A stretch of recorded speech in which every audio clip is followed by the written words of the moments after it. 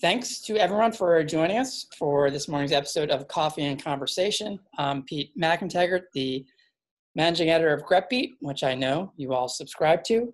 Uh, today's episode is sponsored by the Hutchison Law Firm. Quick shout out to Jody Coverley, who is their Director of Marketing and Business Development, for being the fastest email replier in the Triangle. Today's topic is angel investing in the Triangle, and we've got three great guests who, even if they'd never invested a dime, would still be literal angels. I think uh, it might be a stretch, maybe Jan. I don't know. Uh, so let's meet the three of them. Uh, we'll do it alphabetically. So Jan Davis, uh, among many other things, uh, she's an investor in Triangle Angel Partners, member of the Carolina Angel Network, CAN, member of the investment committee at the Launch Place, and according to the GrepBeat newsletter, she's one of the two most helpful and generous networkers in the Triangle. Uh, Mark Friedman is currently the president of RTP Capital Associates and the portfolio manager of the Launch Place, which uh, has offices in Danville, Virginia, and also now in RTP. And he was formerly an aspiring sports broadcaster. I'm totally clear. Uh, and Randy Myer is the managing director of the Carolina Angel Network, uh, CAN, as we know, and he's a professor of entrepreneurship at UNC's Kenan Flagler Business School. And he's also coming to us today from Vermont, which is not quite as humid. Um, so thanks everyone uh, for for coming. And so let's dive in by why don't you tell us? We could sort of go around and tell us a little bit about you know your current angel group or angel investing, um, and uh, maybe start with you, Jan. Okay. Um, so I've been involved with Triangle Angel Partners um, since the first fund. Um, we're now on Fund Two, and we probably have one more deal, maybe two more deals to invest in. Um, we have uh, dry powder for follow-on investments in um, in the companies that are in our portfolio. I'm also an investor in, or a member, not an investor, uh, in Excel Ventures, which is a, a group of women who want to invest in women-led businesses. And the model there is um, debt only. And we are very young and have not yet made any investments. Uh, I'll point to one difference um, between Triangle Angel Partners and the other um, Excel and CAN and um, Duke Angels and Wolfpack Investors and RTP Capital even. Those are all are all networks. Uh, can, uh, TAP is a fund, so we have committed capital. Fund one, we had 2.8 million. Fund two, just over four. Okay, uh, great, Ed.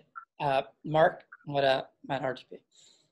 Sure. Uh, as Jan said, RTP Capital is a network, and it's amazing to me. We've been around since 2010 now, and it it really started with four of us that wanted to do some angel investing in the Triangle because uh, the earlier angel groups that had existed, primarily um, Tri-State Investment Group (TIG), which I was part of, had run the course, and there was very little angel investing going on. So we decided we wanted to see if we could find some companies that looked interesting for us to invest in, and if other people wanted to join us, they were welcome to.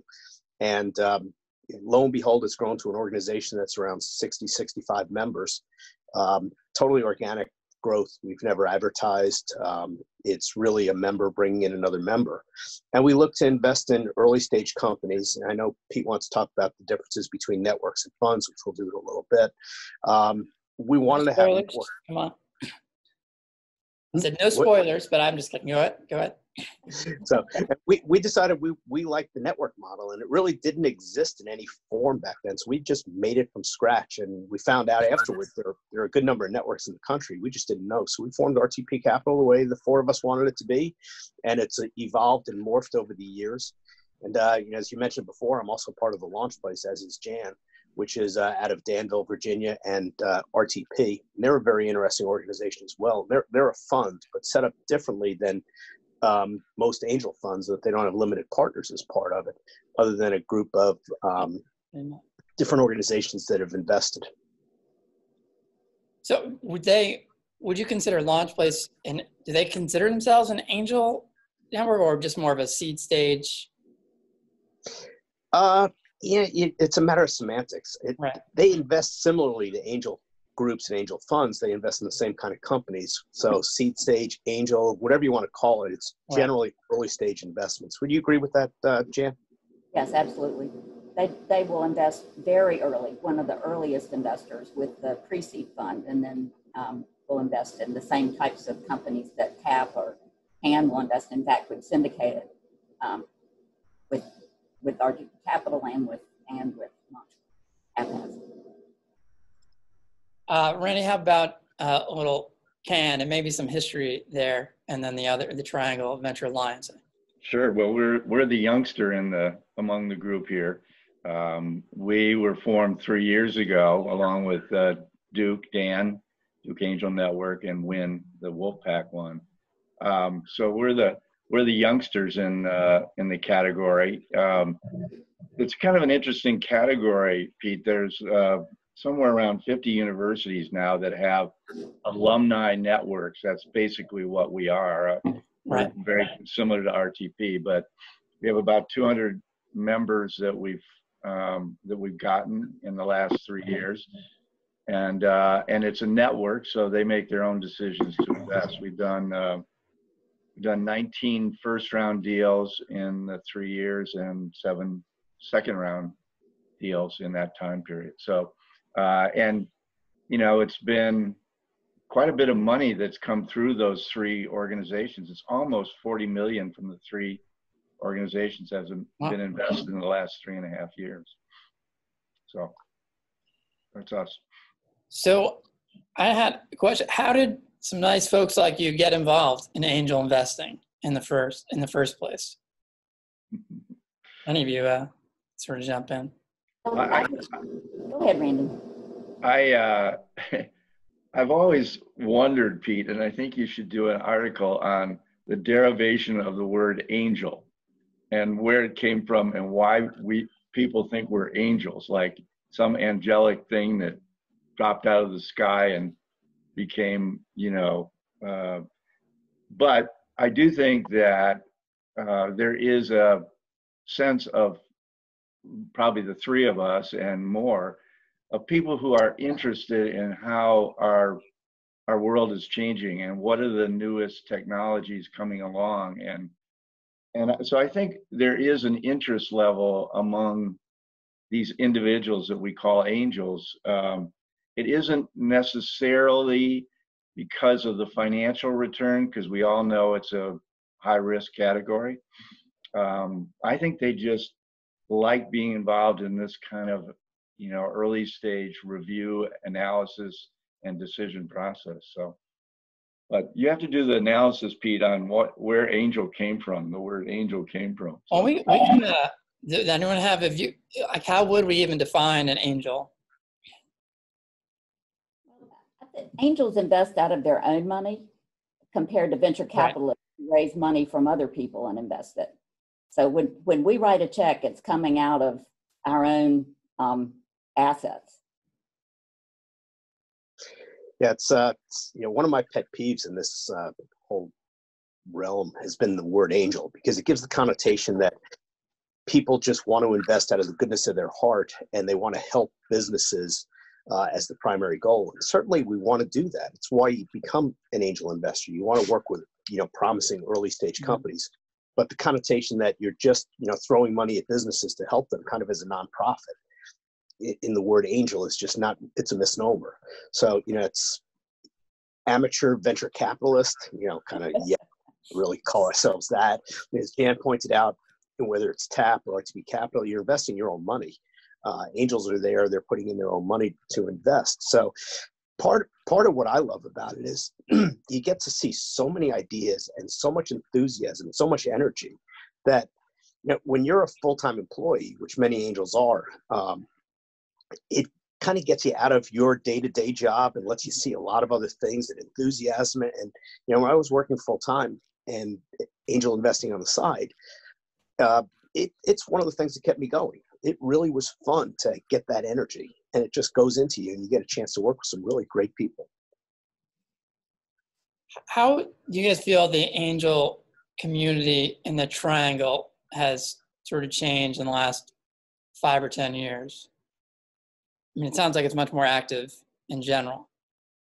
Yeah, I, I, I mean, it's exploded. I mean, uh, RTP Capital started in 10, uh, TAP started in 11, and there really wasn't, I mean, there were individuals who invested alone, uh, but not, not, they weren't at all, they were not easy to find. And I, since then, we've had um, Duke Angels, Carolina Angels, Wolfpack Investor Network, um, Launch Place. I mean, there's just a lot more money uh, and a lot more groups and Excel. And there's a lot more money and a lot more um, groups to talk to than there were a decade ago. I'd say the other thing too that that's happened, Jan, and I give shout out to Mark on this, is we have a syndicate meeting, what every other uh, once a month, I think, or Yeah. And that syndicate meeting, we had one yesterday, Pete. It had probably 15 to 20 people on it on the call, all the way from Wilmington to Charlotte, um, to you know, and so there is the ability to put together a syndicate is way easier than it was three years ago, and and raise three or four million dollars. Um, so I think it's a combination of yeah, we've had some new players like our university stuff, but also a really good network of syndication that, that's helped. What can you just explain syndication, syndicates a little bit? Sure. Well, um, basically, when you think about co-investing, um, let's say a deal comes along and Mark sees it first, and it you know gets through the RTP screening process.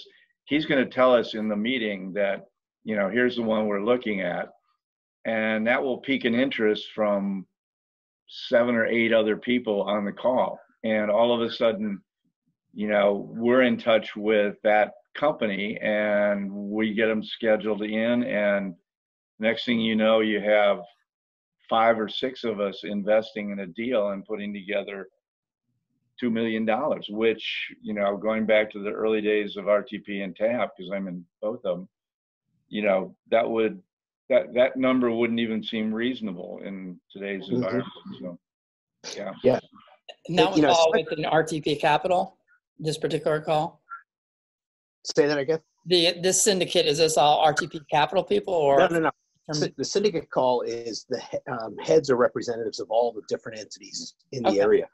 So one one of the things I've done over the last year or so, which plays right into the syndicate work, is try to get the entire ecosystem a little more cohesive. You know, we're seen from the outside, the area outside of the triangle, as one of the top areas in the country for early stage activities. And it's partly because of the angels, partly because of the universities, the entrepreneurship programs. We hosted um, the Angel Capital Association, which is the national group of angel investors, uh, the Southeast Regional Conference last year. And we had 170 people come from 11 different states. And it was by far the biggest attendance they ever had for a regional meeting. And it was because people wanted to see what's all the, the hubbub about the triangle. So, you know, we look at things internally and, you know, we have our own skeletons we try to fix. Nothing's perfect, but there's so much attention in this area that comes from the early stage activities. So, so you guys, this was something I did want to get into. So there is basically some formal cooperation between the various angel groups, uh, in- angel networks, uh, in, in the triangle. And how long has that been going on? We had these syndicate meetings. We used to go back and forth between the Cafe Carolina at Meadowmont and the one in Cary uh, in person. Ah, and, and that started probably in 2012 um, and but now i think since you're doing it via zoom it's a lot easier for people who are out of the area to participate. And it means that people don't have to drive through um, you know 8 a.m traffic back and forth across the triangle so i, th- I think it's a big improvement but it's been going on. Um, i mean um, back in the early part of the century or the decade i guess um, it was hard to put together even a half a million dollars. And now like randy said we can we can get people around the table um, and with the members from the university syndicates who are from all over and from um, venture south which has branches all over we can we can put together some money Yeah, it's uh, it's really a big improvement. And you know, one of the other things that I've been trying to do is break down this kind of invisible wall that exists on I-40 that stops anything going from Charlotte to Raleigh and, and Charlotte to the Triangle and vice versa. And that um, Angel Capital Association conference, we had hardly any representation from Mm. Charlotte. So it's it, it, there's so much going on in the Charlotte area that we just don't know about here. It's um, they've got a great entrepreneurial uh, ecosystem there as well. We need to figure out how we can get those a little closer. Why do you feel there is so much more angel money now than five or 10 years ago? What are some of the factors for that? Well, I, I think one is that, you know, between Mark's 60 to 80 people and TAP, which probably has what, about 50 manners or thereabouts. Fund, Fund One, we had, I think, 53. Fund Two, we have, I think, 74. Yeah, so if you added those two together, you probably get 120 people. Yeah. Uh, the, the three universities have over 500 uh, new investors. So all of a sudden, Pete, you've got 650 or 700 angel investors within 15 miles of each other. And, uh, and that doesn't count, you know, the Charlotte Angel Group or Charleston, or we've even done deals with Tamiami down in Tampa and Miami. So, you know, we're reaching out. AIM, AIM in Alabama is another one. So we're reaching out farther because I think they recognize that there are good deals in the triangle and people they trust that are here that will evaluate them for them. Yeah, actually, one of the strongest relationships we have is with a group in New Orleans, uh, New Orleans uh, Angels, NOLA. I think, Yep. I think there are a couple other, I think there are a couple of, of kind of driving factors. Uh, one in the, in uh, the 2010, 2011, people's personal assets were recovering from the Great Recession. Right. And so as the public markets have improved, it's meant that people felt a little bit more comfortable taking on the risk because angel investing is higher risk and it's illiquid. So you can't you can't necessarily you can't unless there's some kind of an exit get at the assets that you put into this this uh, kind of an investment. Um, so I think that people felt more comfortable risking money. I think that I know TAP has done a lot of recruiting um, and talking about it and making presentations. I know Excel's uh, mission is to get more women involved in angel investing because they're not that many. Mhm. And um, the, the leaders there have really done a great job of, of recruiting women who want to dip a toe in the water. Do you think it plays a role that, uh, I mean, just the way, especially SaaS companies are now, a half a million can go a lot further for a very early stage company than it could have 10 years ago. And now, you know, you don't servers and things can be on the cloud. I mean, is there almost, you, you mentioned angels, you can get together more money, but is there also more impact from that really early stage investing? perhaps now that might be another reason to attract angels Well, I, I think one thing that, that helps is, is we look at uh, use of use of funds, you know, in these presentations, including SaaS-based ones. There's a lot more that's going into building the team, building the sales force, building the product development, you know, by by hiring people as opposed to infrastructure kinds of stuff that you're talking about, Pete. I mean, now look at what we're doing now with remote. You know, why do you really need an office uh, as a as an example? So it's it's going directly into growing the business in a way that is probably more efficient than five years ago. And but you know, it puts a lot of pressure on hiring a quality team, um, and that's um, that's a skill set that uh, you have to look for in these entrepreneurs is can they build a team? Can they build a culture? Can they hire the right people? And so on and so forth. Yeah, I think the issue you're talking about, Pete, is kind of a two-edged sword in some ways. It's yes, it, it definitely helps companies be able to start with uh, raising lower funds on um, on the SaaS space, but also there's a lot of ideas that could be put into place that aren't really well thought out it doesn't take that much money to Right. put together a, a product. So you see, as Randy was saying, you know, the teams aren't in place. Very often, you'll see a product that's developed. It could look really nicely, but when it goes out into the market and, and really needs to be scaled, you see that it was just thrown together and not ready for scaling. It doesn't have security built into it and has to be rewritten from scratch.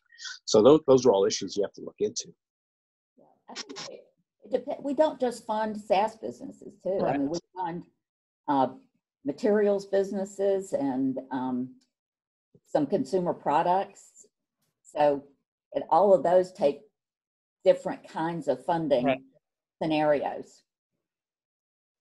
What do you feel are some of the benefits that a strong angel community sort of brings to this area? I mean, any area, but especially this area. Well, I do think um, the fact that we're a fairly tight um, network of people. I mean, you cited Jan as our number two networking person, but people around here are really helpful and really volunteer and give their time, even when it's not a direct, you know, funding opportunity necessarily. And so I think the collegiality of the area um, distinguishes it, say, from New York or Silicon Valley. So you can connect to one or two or three people, and you're then going to get connected to a lot of different groups and people, and so on and so forth. We know a lot about what each of us does. So, you know, you can say, okay, you need to go talk to Mark. Here's how you apply to RTP Capital, or you need to go talk to Venture South. Here's the person you want to contact. Use my name. So I think there's a collegiality, Pete, that helps here. But it's also there's also I don't know of any area in the country, and I've dealt with angel air, uh, groups in a lot of different areas in this country. Talking to them, I, I don't know an area in the country that has more collaboration between the different groups and the trust that's built between us. There's never been a time where a company comes to us and I have any hesitation to hook Randy in or, or Jan or any of the other people that are involved in angel networks. In other parts of the country, where there may be more money sitting around the table in individual groups, there's this fear sometimes that if i if I tell Group A about Company X, Group A is going to steal it from me, and I'm not going to get a chance to invest. That doesn't happen in this marketplace. At least I, I've never witnessed it, and I think you two would agree with that. I think the other thing is, is that um, to pile on to what Randy was saying, people here are so willing to help. Um, I, there are very few people here that won't have coffee and um, with an entrepreneur who's trying to figure out whether or not they're funding ready or uh, wants to talk about funding. Um, there are so many people who are uh, not just willing but eager to serve as advisors or on boards, and I think that that um, those of us who've been involved in startups in the past or uh, run growth companies, um, we can often help young, particularly young entrepreneurs, but sometimes even mature entrepreneurs, avoid some potholes that we may have fallen in ourselves over the years. Hmm. It's funny, they used to talk about Silicon Valley, and one of the advantages of Silicon Valley was that you can go into a coffee shop and be talking about an idea, and there's a lawyer sitting next to you that could write up the, the idea and get you going in the same day. You know, pre-COVID, eh, you couldn't go into Starbucks in RTP, you know, on, over on uh, Page Road without running into Merrill Mason or you know somebody, uh, Andy Schwab. or Where I met you. from the- Or the Coffee. Carolina and Cary. I, Mhm. it's amazing how many people I run into there or ran into there. I think one of the That's where I things. One other thing, Pete, is that uh, we've been uh, willing to share due diligence um, among groups, and I think that's huge because Yeah. you know you'll have only in in the smaller groups you only have so many people working on the due diligence, but when you put together five entities, uh, launch place or whatever, and we're all doing due diligence, and then we share it, we we benefit by the quality of our due diligence. I mean, from the entrepreneur's perspective, that is so much better than you know having to pitch to everyone and kind of Mhm. start from uh, from from square one. So that that is that's definitely very entrepreneur friendly. How would you guys kind of distinguish the angel networks from the VCs here? Like, what are things that maybe the angel networks are it's a better fit for them, or they're a little better at versus, you know, on the other hand, like that's more something for a VC uh, than us. How do you sort of coexist with them and maybe distinguish what do you guys do from what from what they do? Say a co-founder is a Bull City idea. Some- Sometimes, sometimes we, actually not infrequently, we syndicate with them. Right. Hmm. Yeah, and I think you have to be careful whether you're comparing a group like RTP Capital, which is a network, Right. That group like Launch Place or TAP, which is a fund. The advantage the fund has is they have a single investment into that organization. So it's more like a VC investment. And they can get somebody on the board because they're putting in a, you know, the one investor has a, you know, Right. fairly, Yeah. One line on the cap table. yeah. So it's a little different with a network where you have a bunch of smaller individual investors. Now, a network the size of CAN or, or the other university networks could function that way as well. They get, you know, good sized uh, investments going into these organizations. Yeah, I do think also. Pete, Pete, that, that, um, you know, we, we have the three, you know, entities that you mentioned are not big funds. I mean, they're 30 million, 40 million. So when we're doing mostly Series A deals, we can do it with them. But once you start to go for the, you know, 15 million or 20 million dollar Series B or C, you know, we have to rely on finding those that network, and that's where their network helps you to the next level, so to speak. Now, I mean, when we had InterSouth, that was very helpful, and certainly Hatteras is well big enough to to uh, take on a, a B, a Series B or, or C, but but in the IT world, we we still have that shortage of next level, and so we have to depend on them and their network. Yeah. Now you- I, I I think one of the notable things in the triangle is that people don't know the names of all the different investment groups that are here. You know, You've got others that are sitting here. You've got Accelerate, which invests in healthcare IT. You've got Rex Ventures that has their own healthcare IT. There, there are other groups of funds that are around that um, not everybody knows about. There is a good amount of money in the triangle that's available. Sometimes you have to hunt, but the resources for the entrepreneurs are significant too. They're all listed if people look. And- Yeah. And all of us are willing to make connections where appropriate. I mean, we're Yeah, not gonna, send a- we're not gonna send a consumer product to um, Rex Health Ventures or to Accelerate Health or or co-found, because they do B2B software. And you know co-founders comes to our meetings. David's part of our group. Um, we often have somebody from idea funds or uh, bull city that comes bobby baram from accelerate and andy schwab were two of the original founding members of rtp capital. So you know when you say it's a cohesive area it really is. Do most of the uh, angel networks uh, invest i think uh, jan you sort of mentioned this a bit know, so it's not just tech. I mean it how, how much are there life sciences uh, consumer what is sort of the range uh, you know because we met uh, co-founders they're very very focused but are you guys more in general a broader uh, brush I think the one thing that, that, um, that TAP totally excludes is um, pharmaceuticals. right we don't have enough capital, but we, Right. we've done med devices, we've done some consumer products, we've done a ton of software. Um, Excel has, has, although we haven't made any, no one's made an investment yet, um, the companies that we are in due diligence with are consumer products and software. So some diversity. I think CAN has um, a lot more diversity. Yeah, we uh, we originally started by saying, Pete, that we wouldn't do uh, therapeutics or, or pharma.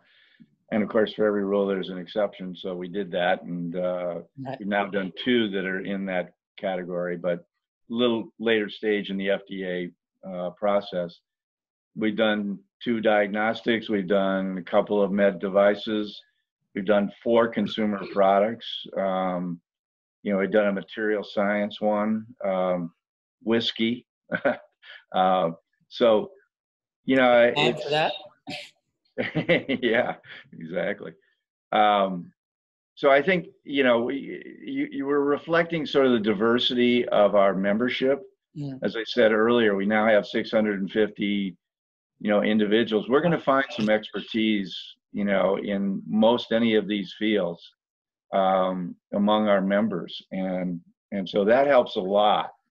Um, I know Jan and, and Mark remember, you know, going back a few years back, it was hard to get uh, people on a on a uh, due diligence team who brought relevant experience to the questions that being asked, and Mhm. now now by sharing all this knowledge and having that big a network, we've got a resources that we didn't have before. You have 650 in CAN or in the um, the three universities? No, there there's about 500 in Can, Dan, and Win. Pete. Right. Okay.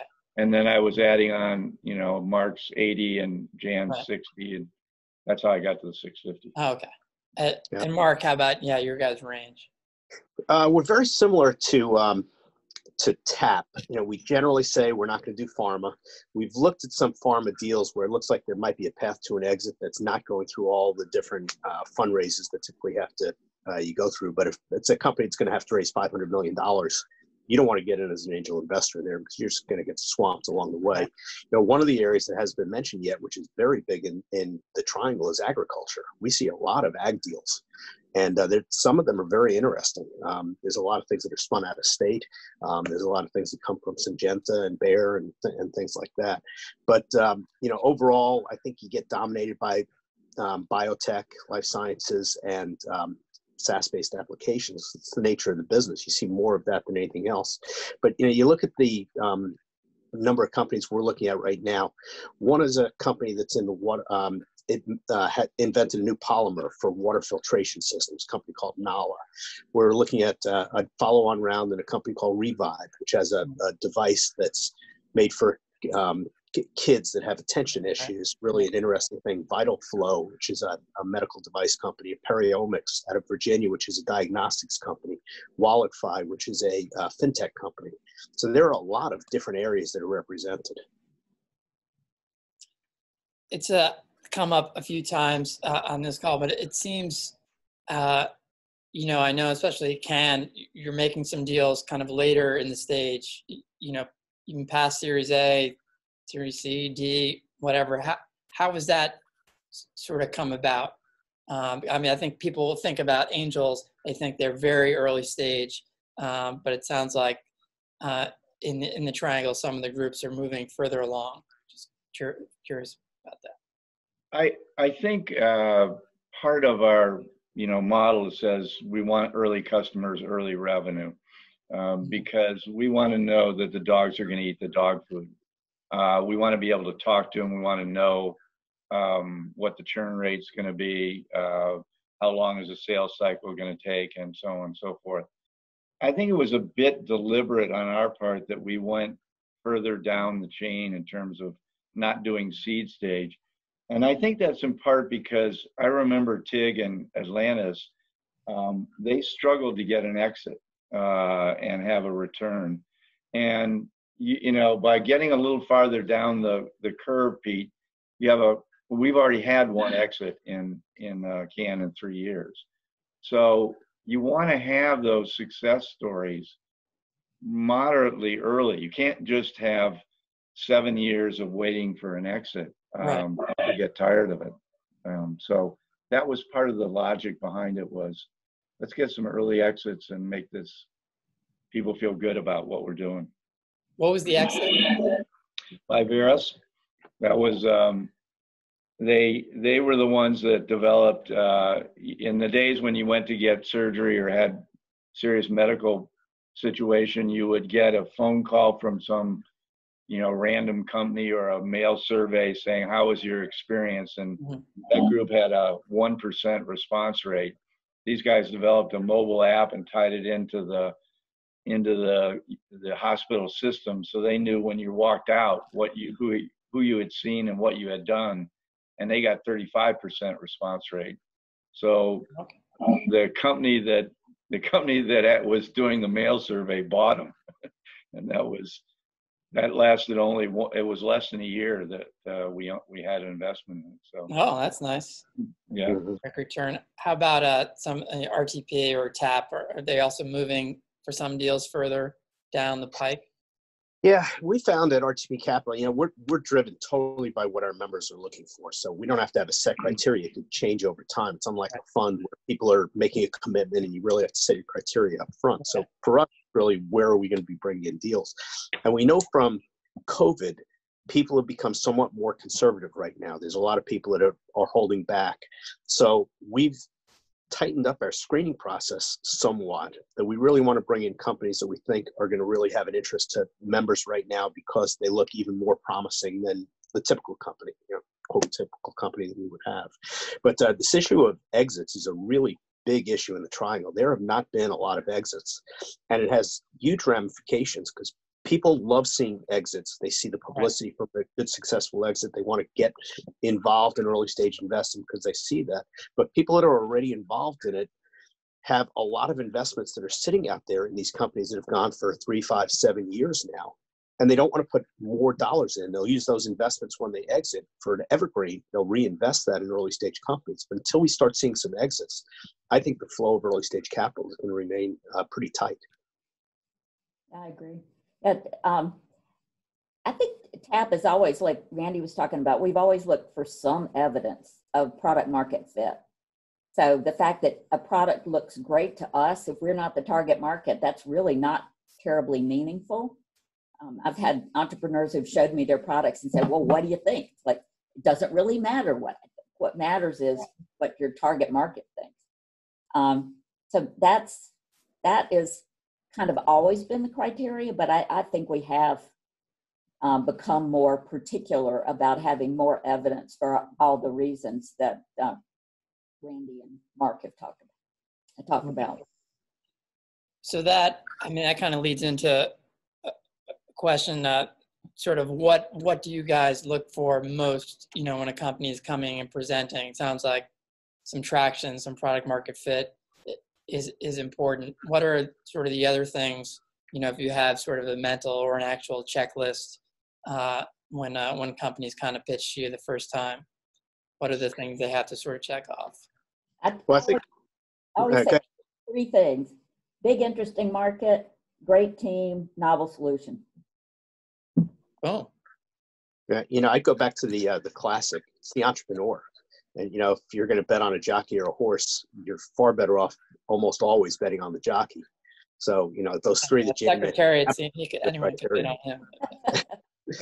well, you know, you think about it. If if the jockey on Secretariat wasn't good, that horse might not have won, and the jockey that was on it might have been able to win with a different horse. It, it's you know, you're looking at a crystal ball, and you want that entrepreneur to have the same belief structure that you do as an investor. And you know there, there are a lot of different types of entrepreneurs. You have some entrepreneurs that are just a consummate salesperson and that person might be great for a particular business. When they're pitching it kind of sets you on edge a little bit at times because you think that you're being sold instead of coming in as a partner. So you've got to look at that. Then you've got the entrepreneur in a lot of cases that's a great technologist but needs the business assistance. So they come into you because you can help them with that business and they're willing to let you come in and help them get to that point. So there's all kinds of criteria that sit there with that entrepreneur. The other thing I'd add, Pete, is um, you know I think we we all use the the quality of the CEO, founder, whatever, and the characteristics we look for, coachability, et cetera. One of the things that's become more apparent to me over the last several years is not just the uh, founder, but the quality of their board and the value add of their board. And so you can take someone who's in, relatively inexperienced in the entrepreneurial world, surround them with a great board and, uh, you know, valuable experience there, and they'll do well. And uh, we also had an example where we didn't have a good board and it was a new entrepreneur and it's the only one that really cratered. Um, so, you know, I, I've come to believe that Jan's list is absolutely right, but I now think of management team differently or more broadly maybe um, as a result of our experience. Yeah, I think that's a great point Randy raises. And you know, one of the tips I would give to entrepreneurs when they're pitching to any of us, they all have this beautiful slide that has their advisors and their board members. That's one of the first things we're going to do in diligence. And I can't tell you how many times you call an advisor that was listed and they say, "What company is that you're talking about?" And it's you know somebody that they met at Starbucks and had one conversation when they put on that slide as an advisor. And all of a sudden, that credibility for the entrepreneur is just out the window, and it's very Right. hard to recover from that. So make sure those advisors are really people that are working. with How hands-on do you guys like to be kind of a- after an investment? You, you know, your groups or you personally when you do an individual investment? Well, we, um, of the 19 deals, we have led uh, seven of them now. And we always take a board seat. And interestingly enough, Pete, I don't take the board seat or Chelsea doesn't take the board seat. We'll go into the network and try and find somebody that has relevant experience for what they need. Or we even, we've even gone outside of the network to find somebody to be that board member. Um, again, it goes back to my belief that it's the quality of the board that matters. So, yeah, as we've gotten bigger, because we're now averaging about 800,000 per deal, we've been able to be a lead and therefore have the negotiation to get a board seat. I, think it really depends. I mean, there there are some entrepreneurs that um, I was involved with before they raised their first dollar, and even you know they might raise money from Can Cap, RTP Capital Launch Place, um, and um, in, in at least some cases, I remain an advisor to the CEO, often uh, advising them about how to talk to their boards. Um, other cases, you know, very little involvement. I think it really depends on on the chemistry, the coachability, whether or not I really can, you know, add value. That will determine whether I stay involved. And I think RTP Capital is is different than both of those. Um, first of all, we've done a lot of deals where co-founders has been involved in something. David is a member of uh, RTP Capital, so very often, if we're investing in something, a co-founders invested in. Co-founders will be uh, the lead on it. They'll have representation, and we'll stay in touch with them. Uh, we have a number of companies where we have an individual who's taken a board seat or has served as a formal advisor. We've got somebody who's a medical director for a business. Because of this, you know, the, the 60 or so members um, that, that we have active, there's a lot of different areas that people get involved in. And they typically do. So it's not an official RTP Capital role, but it's a member that takes a position. Now, Launchplace, on the other hand, gets very actively involved with their companies, not necessarily as board members, but they're there to assist those entrepreneurs. They work with them on a constant basis. It's part of what I do as portfolio manager. So it's really a great service that Launch Place can provide to those businesses that they invest with. I've been very impressed with that because they have paid staff. They really they can do things like market assessments and uh, assembling prospect lists. I mean, they really they really put a lot of effort into being helpful. Yeah, and that's a that's a key question that an entrepreneur should ask when they're going to a group is what's your involvement going to be afterwards? Some people some entrepreneurs want no involvement, they just want passive money.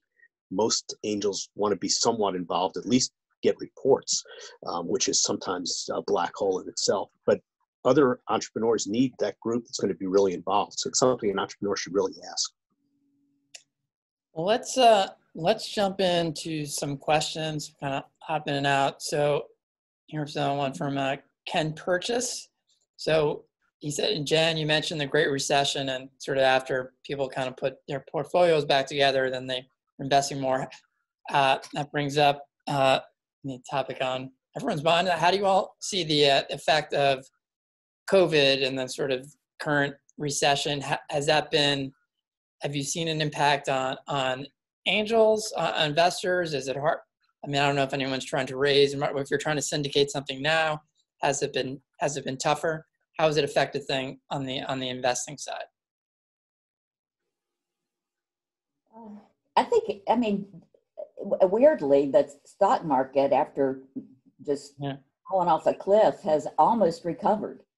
Um, I'm not sure I Can anyone understand. explain that yeah mark and i were talking about it before I, I don't understand it, but um, so I think that has that has been one thing. But some companies have actually benefited right from, from COVID. Um, I mean, Zoom is is one example everybody knows about. But uh, Mark, you mentioned Revibe Technologies. They they're a device that uh, is a smart device for people who have ADHD to remind them to focus. Um, since parents are doing homeschooling, the um, direct to consumer business for them has just exploded. Um, Yeah, they're, they're saying, uh, "Hey, that teacher was right about my kid." yeah, so I know know that the, the groups that I'm involved with are are paying attention to um, is COVID good now? Is the new normal going to be good for this company going forward? Right. But but we're still looking at deals both at, at you know at all the groups I'm involved with. I would say, Pete, that we've uh, we've done three deals since the beginning of March. Completed three deals. Uh, the first two, hardly any slippage in terms of number of members participating or dollars. The most recent one, um, we normally get about 45 people that participate. This most recent one that just completes this week has got about 32 people, and probably, and, and it's around a little less than 500,000. So we're down a bit, Pete, in terms of uh, participation level and dollars going in. Um, but um, the deals are there and the members of, you know, those that are recovering from the stock market, as Jan points out, are seem to be interested in looking at deals. So um, I was surprised. I kind of thought we would shut down and and just not be looking at deals, but um, that's not what the members voted to do with their money. Yeah, we're we're pretty similar to that. First, first of all, I would say that anybody that's a day trader on this um, webinar today has lost a lot of money because the market's up 700 points in the hour that we've been on. So, you know, going to Jan's irrationality that sits there, I, I don't get it either. I've been reading a lot about it. Um, but, you know, that's a topic for another day. Uh, one of the things I would note, I do a lot of uh, reviews of pitches, you know, pitch scrubs for, for entrepreneurs. And one of the mistakes that they make today is not including COVID in their pitch. There is not a business out there that's not affected. Some of them are, are in a great position, as Jan said, some are benefiting from it, but a lot of them have Right. just a, questions that they can't answer right now. But if you just leave out COVID from your deck, you're making a mistake because it's going to be asked and be Right. upfront about put it in there what you think the re, uh, the impact is of it. Uh, here's a question from Elaine Bowl. Uh, she question about how uh, your groups are dealing with diversity, both for investors and entrepreneurs. I know, Jan, you were talking about the Excel, uh, which is a great name, by the way, the E-L-L-E. Um, and, uh, and that focuses it also, I know it's female investors, but it's also female-led businesses exclusively. exclusively. Exclusively. In fact, that was um, one of the questions the, the company that, that pitched at the end of uh, May uh, has a woman co-founder, but her picture wasn't on the website. So that was a, a big question mark. And, um, you know, we've kind of gone back and say, is she really? But yeah, Um, I mean, it, it's an issue. Um, I know across the groups I'm involved with, we have not funded uh, many um, women-led businesses or businesses led by people of color. Um, and it's frustrating. right. We, uh, Pete, we've had uh, three of our 19 that have been female-led companies. Right. Um, and we also have, as part of our syndicate net network, Tom Drogi, who's who's put together an African American Right. uh, program that you probably know about. We're uh, we're looking at one right now that's led by an African American. It's going to be our our June deal. Um, but yeah, it's it's it's a problem whether it's coming through our screening and what we who we see and so on.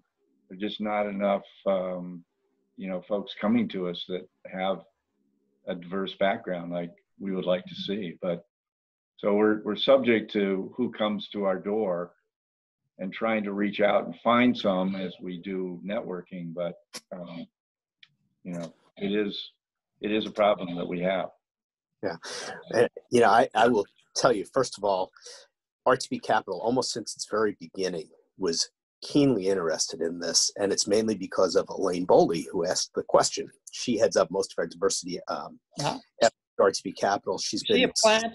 Come on, tell me honestly. I, I think it was a plant. Yeah, Uh, that's she probably Call. on you reading her name, but uh, you know she she's um, taken me to many Angel Capital Association diversity sessions, so it's something we've been keenly aware of. And I think the current situation that's going on in the country, not to get political at all, brings up the issue. You know, I've I've said forever we are colorblind when we look at deals. We are sex blind. It doesn't matter if it's a female. We're going to bring in a female entrepreneur and maybe favor that entrepreneur because of that. But it brings up the question of being anti-racist and anti-sexist. And I, I think there are efforts that need to be made to try to bring in more of these groups because even though we give everybody equal access and equal consideration, Right.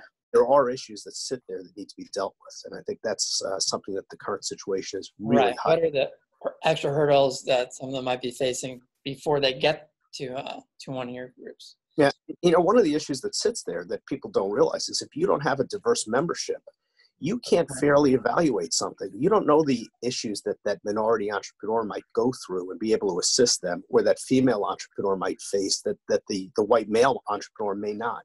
Those are important to have as your members because they could really help you out in um, in understanding those issues.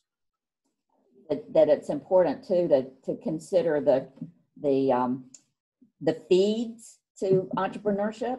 I mean, I know that the universities all have, um, programs that focus on entrepreneurship. There, um, um, there are other organizations in the area that do. I know Bill Spruill, who's a, a very accomplished Black entrepreneur, and um, he he has mentored tons of other um, people of color but it's it, it's it's like you got to go back to earlier um, i know the girl scouts eastern north carolina girl scouts have been working on a, a an entrepreneurship program and an entrepreneurship badge. And that's that's where it's got to start. It's got to start with us reaching out and trying to participate in some of these um, the feeder stock. Um, District C, I don't know if y'all have run across them. They are, they have a program um, that's focused on entrepreneurship for um, middle schoolers and high schoolers. And it's a nonprofit and they're, they're really working on trying to build diverse teams. Yeah, and uh, NCCU has a very interesting entrepreneurship program. Henry McCoy participates in our syndicate meetings. Uh, as Randy said, uh, Resilient Ventures, Tom Drogi and Keith Daniels are doing really important things.